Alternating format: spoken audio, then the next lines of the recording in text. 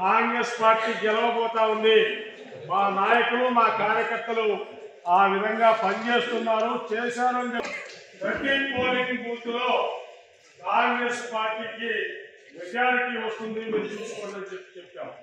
రెండు వందల నలభై యొక్క పోలింగ్ బూత్లో బూతుల్లో కూడా మీ యొక్క కష్టంతో మీ యొక్క కృషితోటి మీ యొక్క శ్రమతోటి మీ యొక్క పట్టుదలతోటి మరి గణనీయమైనటువంటి మెజారిటీ సాధించి మరి తిరుపతి నియోజకవర్గాన్ని ఎమ్మెల్యే గారిని గెలిపించాం.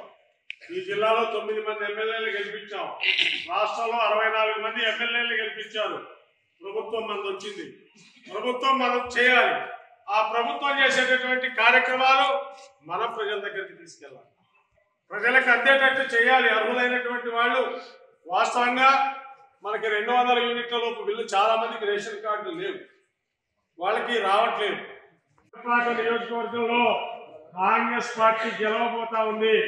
మా నాయకులు మా కార్యకర్తలు ఆ విధంగా పనిచేస్తున్నారు చేశారు ప్రతి పోలింగ్ బూత్లో కాంగ్రెస్ పార్టీకి మెజారిటీ వస్తుంది మీరు చూసుకోండి అని చెప్పి చెప్తాం రెండు వందల నలభై యొక్క పోలింగ్ బూత్లో కూడా మీ యొక్క కష్టంతో మీ యొక్క కృషితోటి మీ యొక్క శ్రమతోటి మీ యొక్క పట్టుదలతోటి మరి గణనీయమైనటువంటి మెజారిటీ సాధించి మరి తిరుపతి నియోజకవర్గాన్ని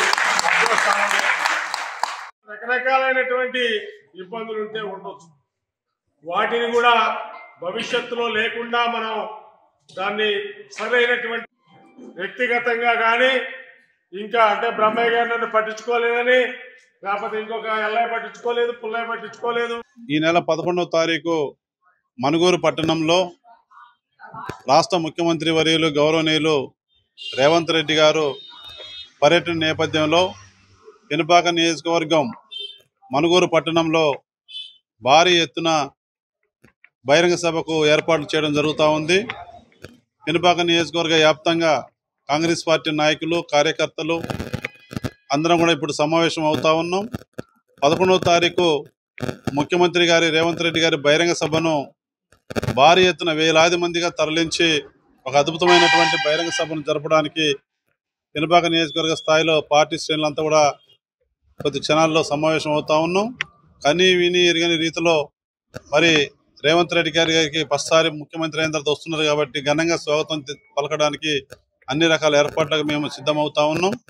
మరి ఇవాళ ఎన్నికల ముందు కూడా కాంగ్రెస్ పార్టీ ఆరు గ్యారంటీ పథకాలను మరి అమలు చేస్తామని ఏదైతే చెప్పారో గౌరవ ముఖ్యమంత్రిగా బాధ్యతలు చేపట్టిన తర్వాత రేవంత్ రెడ్డి గారి సారథ్యంలో నాలుగు గ్యారంటీ పథకాలను ఇప్పటికే ప్రారంభం చేసుకోవడం జరిగింది. పదకొండవ తారీఖున భద్రాద్రి కొత్తగూడెం జిల్లా మనుగూరు పట్టణంలో జరిగే బహిరంగ సభలో మరి ఐదవ గ్యారంటీ పథకమైనటువంటి ఇందిరమ్మ ఇల్లు పేదవాళ్ళకు అట్టడుగున ఉన్నటువంటి వాళ్ళకు ఈ యొక్క కాంగ్రెస్ పార్టీ ప్రభుత్వంలో ప్రజా ప్రభుత్వం ప్రజల సంక్షేమం కోరే ప్రభుత్వం అట్టడుగున ఉన్నటువంటి అన్ని వర్గాల ప్రజలకు గ్యారంటీ పథకాలను అందించాలనే ఆలోచనలో భాగంగా గౌరవ ముఖ్యమంత్రి గారు పదకొండవ తారీఖున ఇందిరమిల్ల పథకాన్ని కూడా ప్రారంభించబోతా ఉన్నారు. ఈ సందర్భంగా ముఖ్యమంత్రి గారికి మా నియోజకవర్గంలో ప్రారంభిస్తున్న సందర్భంలో వారికి నియోజకవర్గం తరపున ప్రజల తరపున నా తరపున ప్రత్యేకమైనటువంటి అభినందనలు ధన్యవాదాలు తెలియజేస్తా ఉన్నాను. పదకొండు జరిగే బహిరంగ సభకు సంబంధించి భారీ ఎత్తున అన్ని మండలాల నుంచి జన సమీకరణ చేసి మరి గౌరవ ముఖ్యమంత్రి గారి ఘన స్వాగతం పలకడం జరుగుతుందనేది ఈ సందర్భం నేను తెలియజేస్తా ఉన్నా. ప్రజలందరూ కూడా వినపాక నియోజకవర్గ ప్రజలందరూ కూడా ఏదైతే ఎన్నికల ముందు మరి అభిమానంతో నమ్మకంతో ఆశీర్వదించి గ్యారంటీ పథకాలు ఆరు వస్తాయని ఏదైతే నమ్మి మరి భారీ మెజార్టీతో గెలిపించినారో ప్రజలందరికీ కూడా స్వాగతం పలుకుతున్న పదకొండవ తారీఖున మీరు అందరూ కూడా బహిరంగ సభకు వచ్చేసి మన ముఖ్యమంత్రి గారికి ఘనంగా స్వాగతం పలికి బహిరంగ సభను విజయవంతం చేయాలని నేను కోరుతా ఉన్నాను.